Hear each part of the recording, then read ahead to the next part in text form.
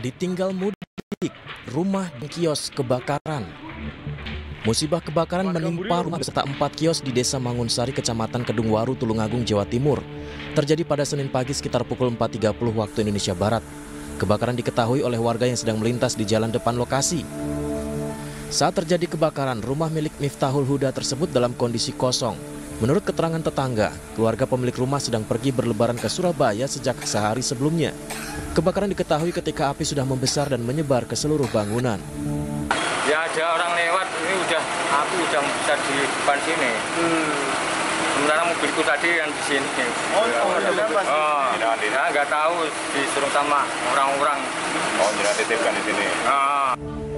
Petugas pemadam kebakaran Tulung Agung yang menerima laporan menerjunkan tiga unit mobil pemadam serta dua unit truk tangki suplai air. Api berhasil dipadamkan sekitar satu setengah jam kemudian.